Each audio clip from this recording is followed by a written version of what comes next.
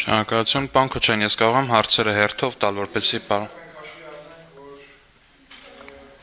Լավ, շատ բարի, շատ բարի, գիտեմ, որ դուք շտաբում։ Ահա։ Պարոն Ղազինյան, երբ գլխավոր շտաբը նրա պետի հետ միասին Փաստացի դուրս եկավ իր սահմանադրական լիազորություններից, խառնվեց Հայաստանի ներքաղաքական կյանքին, պահանջեց կառավարության հրաժարականը։ Դուք եւ ձեր թիմը ողջունեցիք դա, Ձեր որոշ թիմակիցներ անգամ կոչ արեցին, որպեսի գլխավոր շտաբը տանկեր հեծնի ու գա Երևանի կենտրոն։ Դուք ինչպես եք գնահատում ձեր այդ ապապետական վարկագիծը, Արդյոք ձեր թիմակիցները ինչ որ կեմալիզմի զեղումների մեջ էին ընկել, իրենք իրենց դիտարկում էին Աթաթուրքի հիմնասյուներով կառուցված Թուրքիայում, ու արդյոք դուք գտնում եք, որ տանկերը այնուամենայնիվ պիտի մտնեին Երևանի կենտրոն եւ ճզմեին Հայաստանի քաղաքացուն ու նրա ձայնը, սա մեկ հարց։ Հարց համար 2, երբ խոսում եք, որ ժողովրդին խապվել է պատերը, խապել են պատերազմի ընթացքում, ասել են հաղթելու ենք, պարոն Ղազինյան, եթե դուք գոնե 2 օր զինվորական համազգեստ ու զինվորական ճտկավոր կոշիկ հակած լինեիք, դուք իմանայիք, որ զինվորի համար ամենակարևոր բանը ոգին է, ու եթե դու չես կարողանում ֆիլտրել այն ինֆորմացիան, որը գնում է սահման, առաջնագծում կանգնած զինվորին, ու այն, որը գնում է քո քաղաքացիներին, դու իրավունք չունես այդ զինվորի ոգին գցել որտեվ երբ որ դու զինվորին չասես մենք հաղթելու ենք, այդ զինվորը էլ այնպես չի կռվի, ինչպես որ կռվում է։ Սա էլ երկու հարց, իսկ ինչ վերաբերվում է ձեր բանակում ծառայած չլինելուն, դուք ասում եք, որ օրենքով սահմանված կարգով եք ազատվել։ Ես այստեղ ուղղակի ուզում հիշեցնել ձեր գործընկերների, ձեր գործընկերներին պատկանող մեդիաների, այն ամբողջը ինչ որ թափվում է մեր գլխին տարիներ շարունակ թեև մենք մեծամասամբ բանակում ծառայել ենք ու մեզ անվանում են բանակից թրազներ, պարոն Ղազինյան Ուզում ասեմ, որ դուք այդ պիտակը վաստակել եք ընդամենը։ Այն այն պրիզմայով, որով որ այն մեդիաները դա տեղադրել են մեր բոլորի վրա։ Շատ շնորհակալություն, խնդրեմ, Պրոզինյան։ Գլխավոր շտաբի հայտարարությունը. Հայաստանի զինված ուժերը անմիջականորեն պատասխանատու են Հայաստանի արտաքին անվտանգության, սահմանների պաշտպանության եւ տարածքային ամբողջականության համար։ Եվ նրանց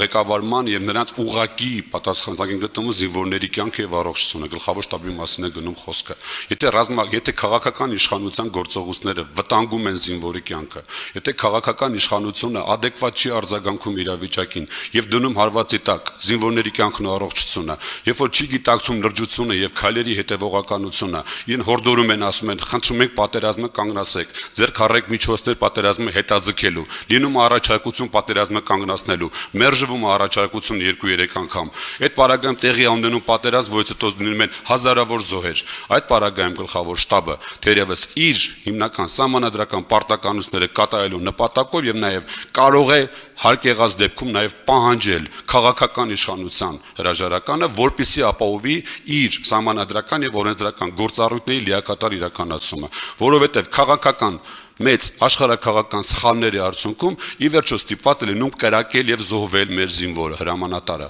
Դեպ զինվորը կրակում է այն դեպքում, երբ որ ցախողում են քաղաքական գործիչները, երբ որ ցախողում են դիվանագետները, Խնդիրը դրա մեջ է, իսկ արեք ընդունենք, որ քաղաքական process-ները վարում էր պետության ղեկավարը, դիվանագիտական աշխատանքը վարում է պետության ղեկավարը։ Նույնիսկ հասցրեցիք զարմացնել Պուտինին։ Ինքը զարմացել էր, ասում փքի հրաժարվեց։ Ասեց, ես զարմացա, որ ինքը հրաժարվեց։ Բառացի եմ ասում ձեզ։ Երրորդը, ուրեմն, ապապետական վարկագիծ ես չգիտեմ թե, դուք ինչ եք համարում ապապետական վարկագից, Աթաթուրքին եք մեջ բերում անում եւ այլն։ Խոսքը վերաբերվում է հենց այդ նույն տանկերի տակ ճզմելու մասին, թե փողոցում գտնվում է ընդդիմությունը, տանկերի տակ ճզմելու կարիք չկար ոչ մեկին։ Հակառակը տանկերի տակ ճզում են, երբ որ իշխանությունը տանկը բերում է իր դեմ բողոքող ժողովրդին։ Այդպես որ ձեր այս ձևակերպումը տեղին չէր իրավիճակի առում, թե փողոցում չէր գտնվում մարդ, ով որ համաձայն չէր տանկերը բերողի հետ մեծ հաշվով։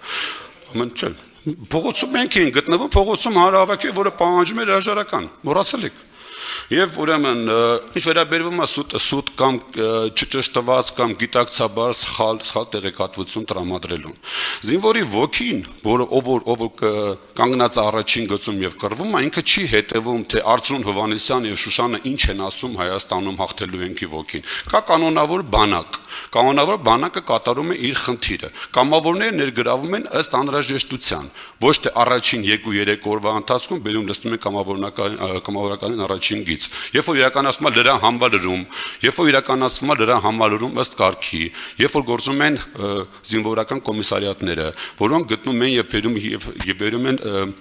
լրացնում են անհրաժեշտ մարդկանց, որոնք ունեն որակավորում։ Այս մարդկանց պետք չէր ոգի, որտեղ իրանք առաջինն են զգում այդ ոգին ինչա կատարվում առաջնագծում։ Այն ինչ որ մեր ժողովուրդը Հայաստանի մեջ չէր զգում, նրանք ամեն օր իրենց մաշկի վրա են զգում ինչ որ տեղի են ունենում այնտեղ։ Այնպես որ դա զինվորի ոգին բարձրացնելու խնդիր չէր։ Դուք պատկերացեք, եթե հանկած Վազգեն Սարգսյանը 92 թվականին չասեր վիճակը օրհասական է, մեզ պետք է 500 մահապարտ, որտեղ ապրելու եւ զոհվելու հավանականությունը 50-50 է։ Այլ ասեր ժողովուրդ ամեն ինչ նորմալ է, հաղթելու ենք այդպես չեն հաղթում պատերազմները։ Ժողովուրդը պետք է իրականություն իմանա։ Եվ ուրեմն երրորդը որն էր, որ գույսեք, չկար երրորդը, հա, շնորհակալություն։ Չէ, չկար։ Ես խնդրում եմ,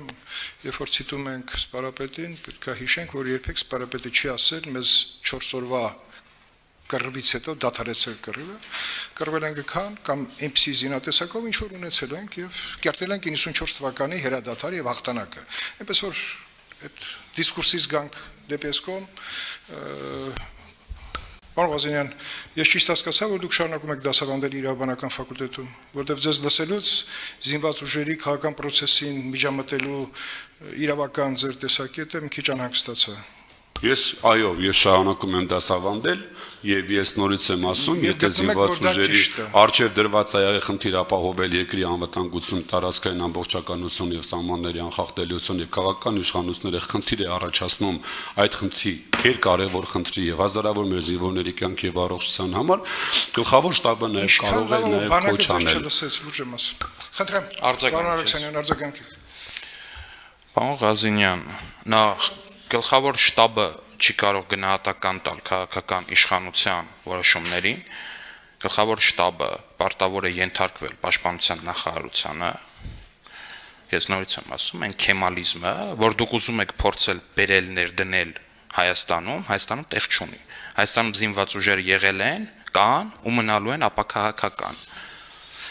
Ինչ վերաբերում է սրան, իսկ այն մասով, որ փողոցում ընդդիմություններ ոչ, գլխավոր շտաբի հայտարարության օրը փողոցում արդեն իշխանության համակիրներն էին հանրապետության հրապարակում ծեր միջին հանրահավաքներից մի քանի անգամ ավելի բազմամարդ հանրահավաք էր ինչպես միշտ բայց դրա մասին չի իմա խոսքը դուք երբ խոսում եք այն մասին որ դե շատ բարի բայց ես մի նկատառումն էլ չեմ Դե շատ բարի, լավ, թողնեմ ելույթներին ուրեմն։